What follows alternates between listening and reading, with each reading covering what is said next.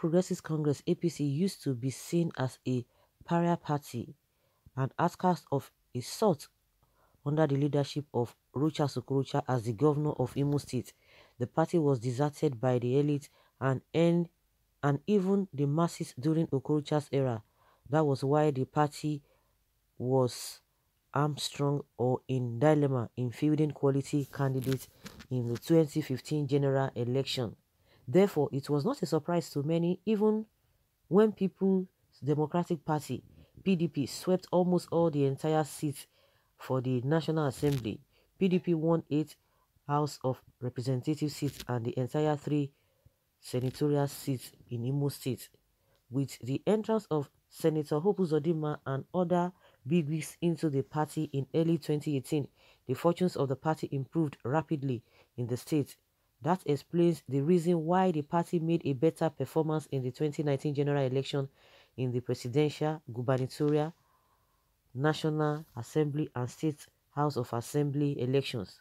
Okorocha's domineering style of politics, which gives the impression or the delusion of grandeur that he should always be the only Iroko in the forest, made it difficult to sell APC among the electorate of Imo State without the divine entrance of Governor Uzodima into the party. APC would have become extinct in the state since 2019. The fortunes of the party has been multiplying in geometrical proportion since Uzodima became the governor of Imo State on January 15, 2020. Uzodima's likable personality and accommodating spirit have been the most potent magnets attracting people in droves to Imo APC, those who swore never to have any dealing or affiliation with APC during Okorocha's era have recanted or changed their minds about the party. The rate of influx of people into APC in recent time has been astronomical. However, Governor Hope Uzodinma must not be deceived by the apparent change of fortunes for the party under the leadership under his leadership. As the governor of Imo State, Senator Uzodinma is both the de jure and de facto leader of the party in the state.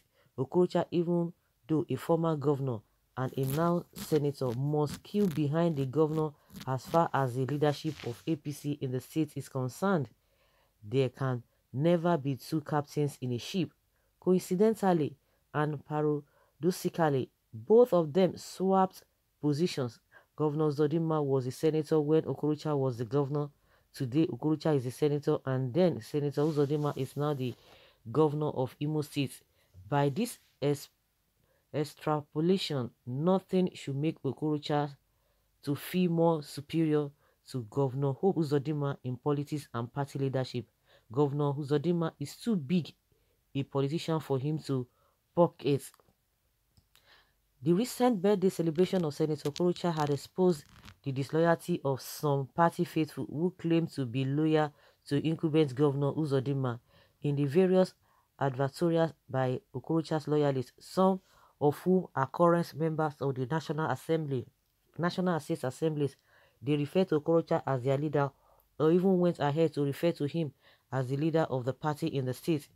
If Governor Uzodima had taken his time to read the messages in the birthday advertorials, word for word, line by line, he, he would have discerned where the loyalty of those well-wishers lies. With the Supreme Court's pronouncement of Governor Hope Uzodima as the governor of Imo State on January 14th, the governorship election of the state will no longer be conducted during the general election of the country as it used to be. It now means that Imo State has joined the League of States with staggered gubernatorial election these states include Anambra, Bayelsa, Ekiti, Osun, Edo, Kogi, Ondo, and Imo. Governor Zodima must realize that presidential, senatorial, and House and House of Assembly elections will be conducted first before his own re-election, which is likely to take place several months after the general election.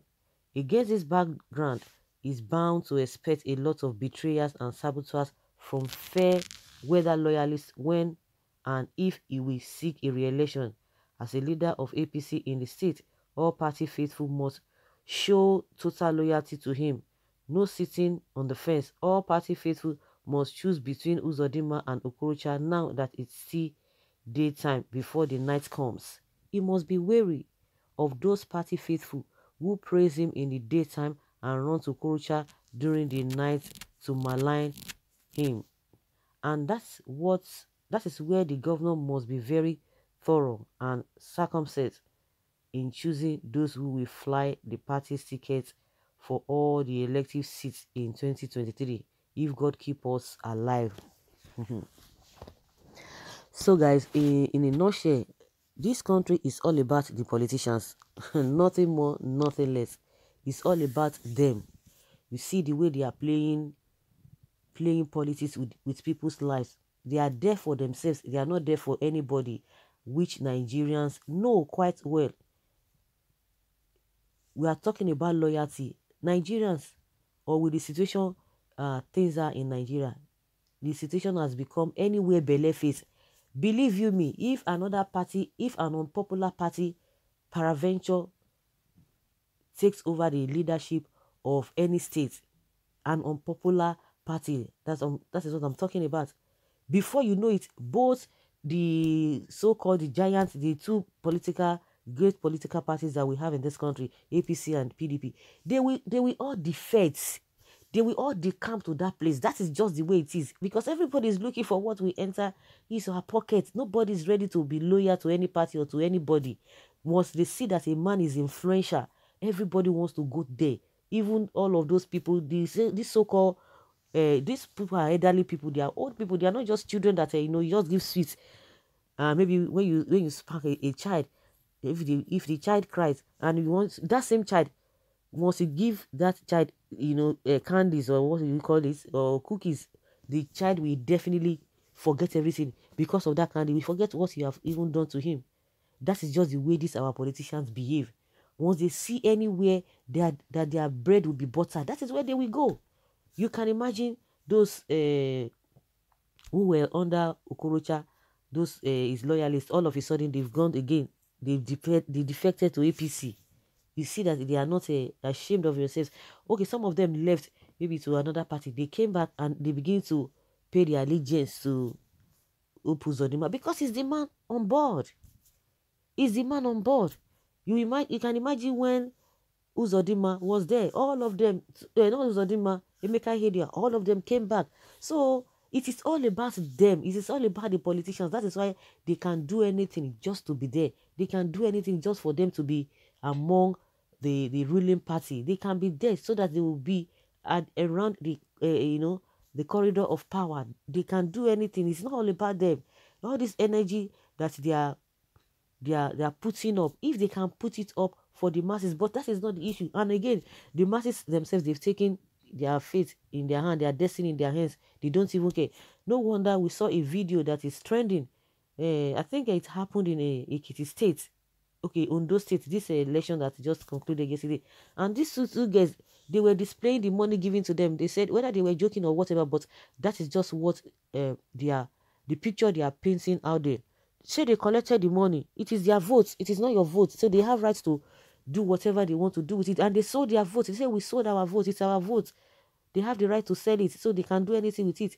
Because some people will ask you, Who uh, voting for the right person? Who help? Who, who is even right in the first place? The question is that whether the APC wins, whether the PDP wins, the APC that is there now, what, how has it transformed the lives of people for the better. It's the same story. Oh. Story, story, story, story, story, story. From top to bottom, everybody's complaining. Then what significant what, what significant thing have they done that will even and they you know encourage people to say continue. So they just some people just believe that let me just collect what I want to collect and forget and move on. Whether even if I vote for this person, how will this person be able to take policy that will affect me now, now, now, now? No, once they get there, they'll just say, oh, you have to be patient. You have to calm down. Oh, Nigerians are too in a hurry. Oh, the government is not a magician. This and that. And these are the words they've been telling us right from memorial. Those who have lived in the city before then, since till, till date, the same story. Nigerians have never enjoyed. But go and check all those politicians. They are the, this country is made for them. is the lucrative job, the most lucrative job in the country now if you are if you belong to the political class. So that is why all these people, nobody is loyal to anybody. They are loyal to their pocket, whatever they can get from them.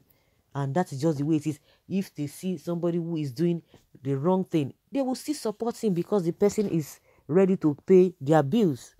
So whether Uzodinma or Rochas or Okorocha, that's just the way I see it. None of them, all of them, none of them is worth calling a leader because they have not touched the heart of the people. Forget these individuals, few individuals, they will gather and begin to give small, small things. And that is what they will pride themselves over. So guys, let's hear your opinion. Let's leave your comments below in the comment section. Thank you.